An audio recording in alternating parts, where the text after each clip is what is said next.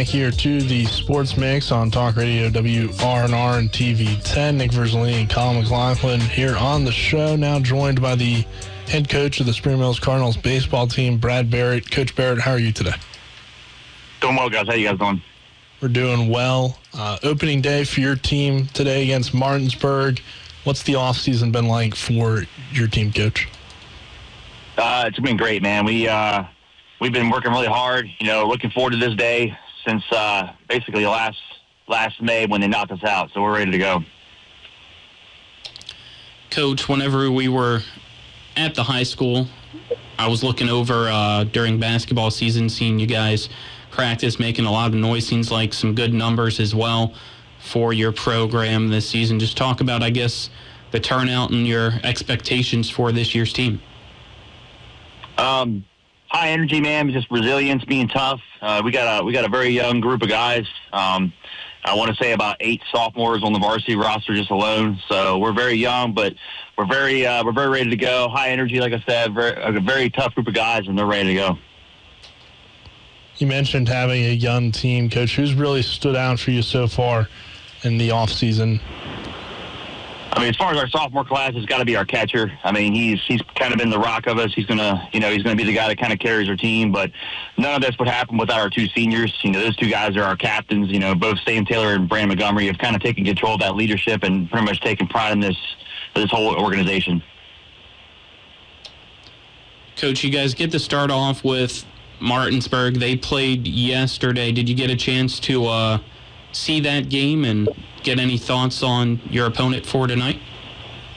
Yeah, I mean, I, I watched, I watched obviously the, the game changer and looked up some clips and stuff, and we uh, followed them around a little bit. Um, you know, we're gonna get, we're gonna go at them head on. And we're gonna attack and be aggressive as much as we can. But you know, like I said, we're gonna we're gonna see what we can do and put runners on base, execute when we need to, and then hopefully go out with the win.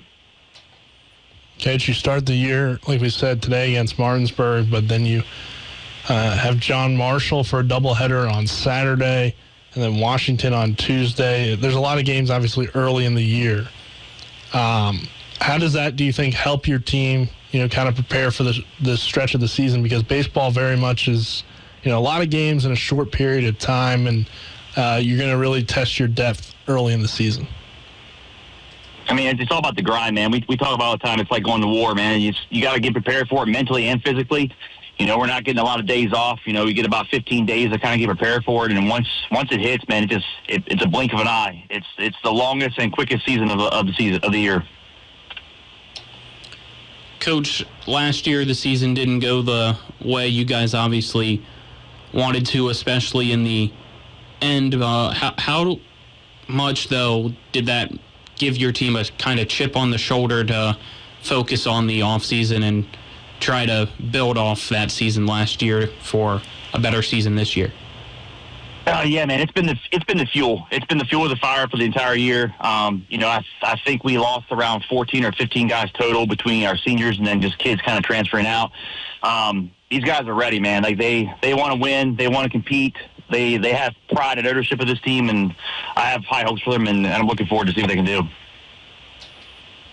Coach, it does seem like your team has struggled really the past two seasons to consistently be one of the, the teams that can consistently compete in this tough conference. How do you take that next step with this group uh, to get to the point where you feel like your team can compete every single night against you know some of the tough teams in the EPAC?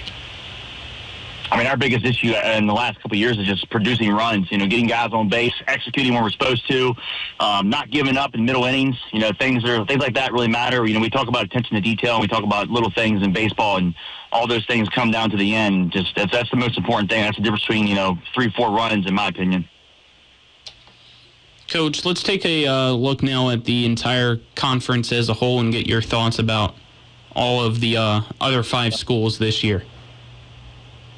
I mean, it's always a battle in this area. You know, it's always it's one of those one of those tough, you know, regions in, in the entire state. You know, EPAC is always going to be one of the most difficult areas. You know, I feel like we always beat beat each other a little bit in the beginning of the year, and then you know you got to get better as the year progresses. If you're a team that doesn't get better, then you're going to get walked over towards the end of the year. And I feel like that's kind of how this area is. You know, I feel like we always start off about the same, and then towards you know the middle of April, like towards May, you know that team that's kind of on a high rise is the one that usually finishes up on top. So you got you got to work hard to make sure that you're that team that finishes on top.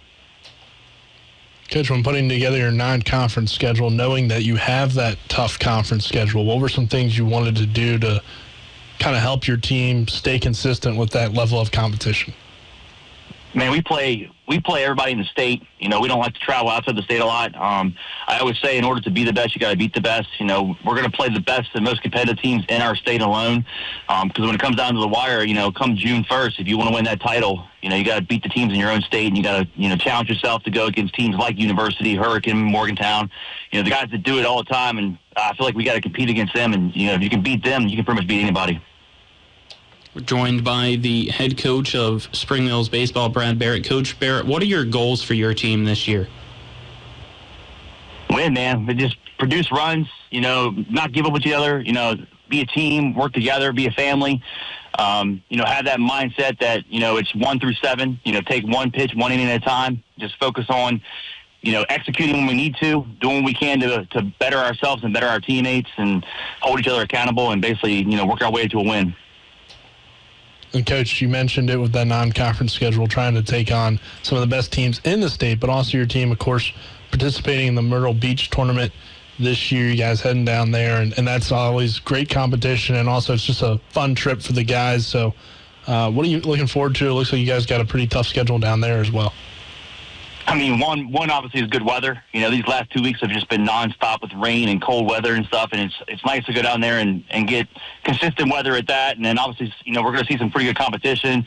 It's always great to see the, uh, all the nice fields down there too, just to get a different atmosphere. But you know, all around, man, we just want to compete. We want to go someplace, play some baseball, and some nice weather.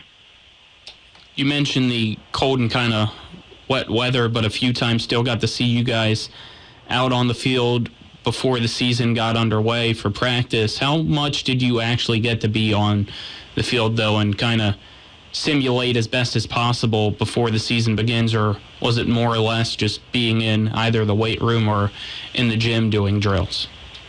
Um, I mean, not as much as, as I like to, but in all, in all honesty, I feel like we we were out there probably more than most people were. Um, my my rule is if we would play in it, we're going to practice in it. And, you know, we'll find a way out, whether it's in the outfield or on a football turf or whatever we can do in the cage. And we're going to play outside as much as we can. You know, getting stuck in that gymnasium can kind of get to the point where it gets a little stagnant for you. So you got to focus and you know kind of handle that adversity and deal with it. And I think our guys have handled it very well. You know, we got guys working every day with rakes and shovels and trying to get the field the way it should be and, you know, covering with tarps when we need to.